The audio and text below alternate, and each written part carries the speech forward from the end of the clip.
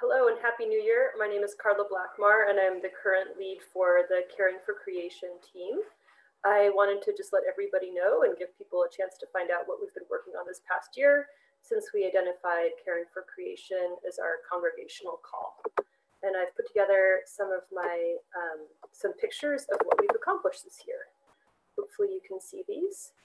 So um, Caring for Creation, looking ahead to 2021.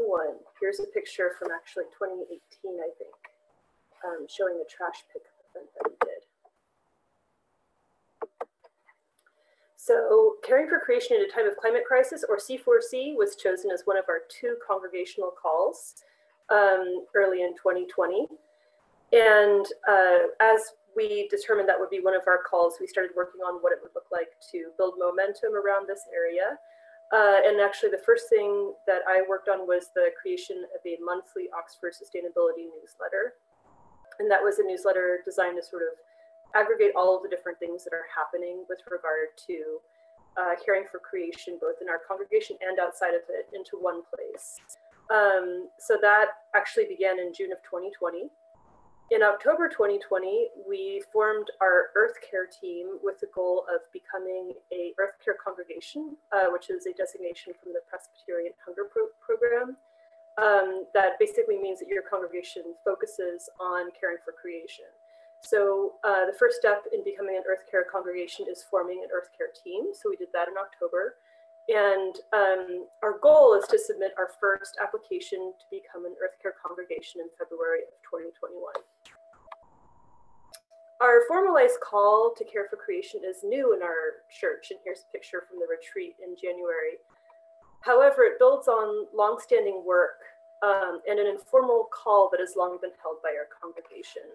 Here's a great picture of uh, that same trash pickup day in 2018 we have um, a really great history of engaging um, creation care, animals, uh, nature in our worship practice. Here's some great pictures from the Lenten season of 2019. And we have some wonderful leaders in our congregation who for a long time have brought creation care um, close to our worship and community experience. In 2018 and 2019, Dick Munson began a program called Trees for Life, um, where he worked with our youth to plant seedling acorns and uh, seedling oak trees for distribution to our community, uh, both within our congregation and beyond. So here's actually a 2019 picture, I believe, um, where he's giving away trees to the public. And it was part of um, Pastor Lawrence organized a blessing of the animals for the feast day of St. Francis. So uh, anybody in the community could come, celebrate the spirit of St. Francis, have their animals blessed, and get a tree.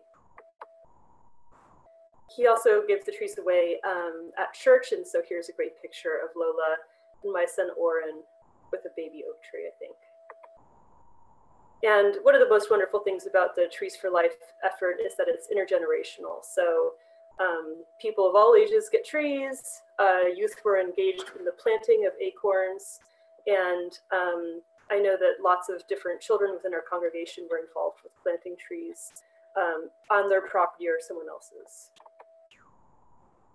Beyond that, we also have um, begun to integrate the caring for creation message into some of our, what I guess we would think of as our um, eradicating systemic poverty message. And so here is um, a Bread for the World letter writing campaign that I think we did in 2019. And I know that um, I try to make sure that caring for creation and climate change and the exacerbating influence of climate on um, hunger and poverty was part of my message to my elected officials. And so I think we see an opportunity to build that all together. We have so many people who um, are living the call to care for creation in our community. And I think that the bike racks that are often full um, when our church is in, in service worshiping together are a symbol of how many people are really working to reduce their personal fossil fuel use. So this was a particularly full day on the bike rack. Um, and I just think it's such a cool thing that we have so many community members working hard on that. We had also talked about in our retreat the use of the seminary building as a space for outreach and mission. And um, we had some really good things happen in that regard uh, in 2018, 2019, and 2020 before the COVID shutdown. Um, here's the 2018 League of Women Voters Forum on Climate Action, and Dick Munson is speaking about Trees for Life at that meeting. In uh, February of 2020, we hosted an organic gardening workshop in conjunction with the Oxford Farmers Market, uh, led by Craig Hartreiter, who's one of our really amazing local farmers. So a great example of how we can be an organizing place for the community and leverage some of the really nice tech resources that we have to advance creation care, uh, both within our community and beyond. I'm also really proud of the work that people have been doing to reduce um, waste. And I thought it was really amazing. We had several different fellowship events in the seminary building where volunteers made it possible through their hard work of washing and cleaning and organizing to use the dishes that we have there. So here are the, uh, the Staleys um, with a, I think they're making ice cream sundaes. And uh, I think at our congregational retreat, we actually drank our coffee with our um, our church china, which was just lovely. So um, I really thank all of the volunteers that have been working to make waste reduction a core part of what we do.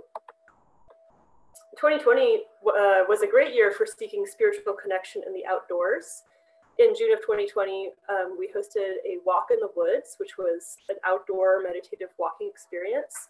Um, and we had, I think, we had great participation. I think like 20 people on a really beautiful day. Um, we had words of prayer from Pastor Lawrence and um, some insights from Dick Munson. And it was just a really nice opportunity to gather at a time when most of us were in lockdown. So 2020 um, was a great year, has been a great year for really seeking that spiritual connection outside of nature.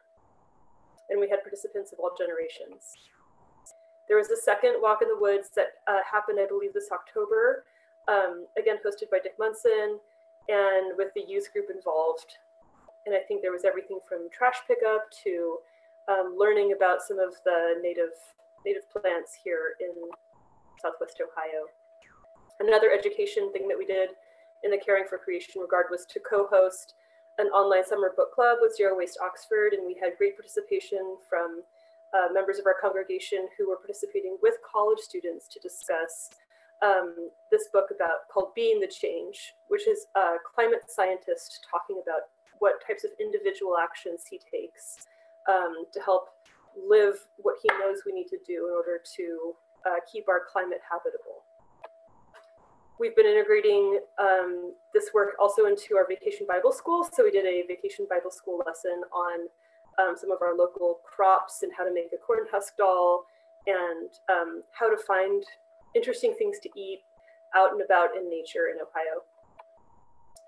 We're also integrating uh, caring for creation into our confirmation process for our young people. And so um, the wonderful curriculum that Pastor Mark selected has a unit on um, the proper use of God's creation. And I think this is just such a critical thing for us to be working with our youth uh, as they understand what our faith is about, to understand how critical creation care and stewardship are um, as part of that. Here's a screenshot from our Oxford Sustainability newsletter, um, which is spearheaded by our church, but does uh, bring in all kinds of sustainability related opportunities and information uh, from our broader area. So I definitely encourage people to sign up for this. So just in terms of, um, you know, to revisit, We've done the newsletter, we've created an Earth Care team. Thank you to everyone who's on that already. And we are looking forward to submitting an application to become an Earth Care congregation. As you can see, we've done a lot of really great work that puts us in a great position to become an Earth Care congregation. Um, our Earth Care team includes these wonderful folks. Uh, and we have the uh, plans in 2021 to really start implementing some of the priorities that are identified through our Earth Care congregation application process. The Earth Care uh, congregation certification is a revolving recertification process. So this will be our first year. If we become an Earth Care congregation, we will actually need to submit for recertification each year. And I think that's a lovely thing because it means that we are constantly setting goals for how we can be better at this and bring it uh, deeper and deeper into the work of our congregation. And I think that matches really nicely with the idea of a congregational call around creation care. So um, we're currently finishing up our assessment of our of our Earth Care congregation status, um, and we will be submitting this application in February. And part of the application is actually setting goals for what we want to accomplish in 2021. So throughout the year, we'll be working toward those goals, and then we'll be submitting for recertification in February of 2022. So for anyone who gets questions about what we're doing with this process, just know that um, there's no right or wrong answer. Each one of these things is kind of a snapshot in time, and we wish to improve on all of these different areas um, as part of this work. And so just to a quick synopsis of what some of our 21 might 2021 goals might be. Um, they may include assisting and amplifying uh, some of the existing efforts, both the City of Oxford and Miami University, to uh, uh, achieve climate commitments. So both our city and our university have goals to reduce their emissions. And so we can be a community uh, partner assisting in realizing that vision. We'd like to continue to build on the Trees for Life program uh, that Dick Munson has begun. It's just a, a, great program. And we would like to um, continue to build on the communications and make sure that we're continuing to run this monthly newsletter because right now, those clear communications around what we can do, I think are a opportunity area for us and an opportunity to draw people from outside our congregation. Pardon the dog. Anyway, thank you to everyone who has helped advance our Caring for Creation call this past year and in prior years. and I can't wait to see what we do together in 2021. Thank you so much.